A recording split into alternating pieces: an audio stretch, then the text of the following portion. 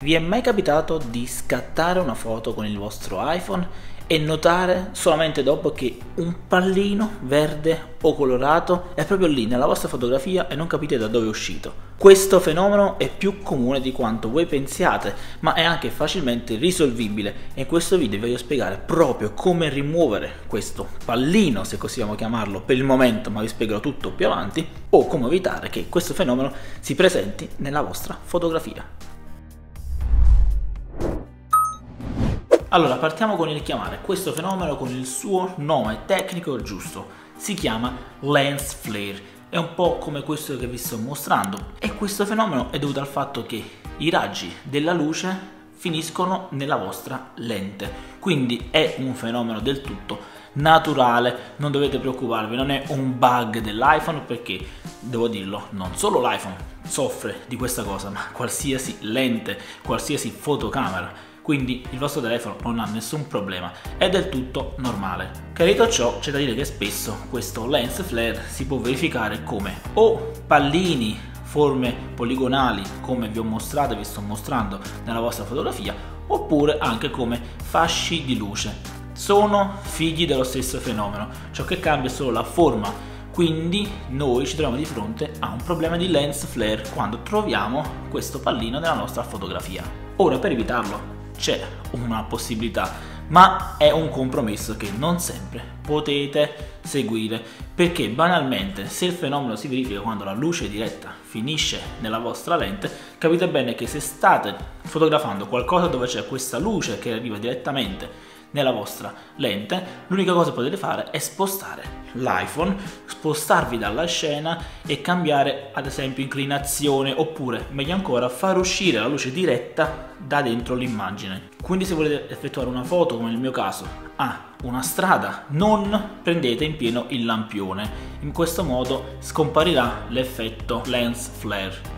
Se invece non potete fare a meno di evitare la luce diretta perché ad esempio vi trovate di fronte a un bellissimo tramonto e voi volete giustamente fotografare il tramonto sempre come vi sto mostrando, allora il mio consiglio è scattate la foto con questo fenomeno. Però state ben attenti a scattarla facendo in modo tale che il pallino che compare nella vostra fotografia finisca in un'area diciamo così isolata con colori uniformi per un semplice motivo questo fenomeno può essere corretto velocemente in post produzione con una qualsiasi app per modificare foto su iPhone. L'editor di base di iPhone al momento non permette di rimuovere oggetti su iPhone, ma se lo collegate all'applicazione foto sul vostro Mac avete anche questa possibilità. Però visto che voi state scattando foto con iPhone, volete modificare tutto il vostro iPhone, vi mostro come fare appunto per rimuovere il pallino con una semplice app gratuita e molto utile. La conoscete sicuramente tutti, si chiama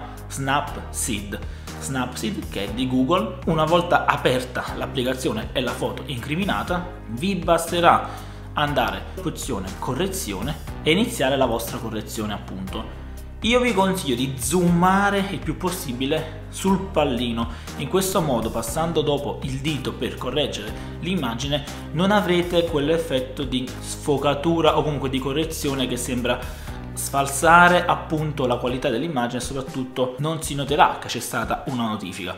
Perché se la stessa foto provate ad esempio a non zoomarla ma a passare il dito per correggere il fenomeno del lens flare, quindi il pallino, vi accorgerete che si potrebbe notare che c'è stata una modifica perché come sto mostrando guardate una parte è molto più scura. Naturalmente questo fenomeno si verifica con qualsiasi fascio di luce, quindi non solo con il sole ma anche con un lampione, una lampadina, una candela. Può capitare dunque che sono varie le situazioni in cui vi troverete di fronte al fenomeno del lens flare ma come vi ho detto per evitarlo avete due possibilità. O evitate a priori il tutto e quindi cercate di non riprendere direttamente la luce e non far entrare nella vostra fotografia la fonte di luce oppure se non potete evitarlo usate l'astuzia cercate di posizionare poi il pallino in modo tale che in post produzione con un'app riusciate a rimuoverlo senza problemi per la vostra gioia ragazzi. Il video è già finito qui perché sì non c'è tantissimo da dire. Perché mi devo dilungare fino a 10-20 minuti per parlare sempre delle stesse cose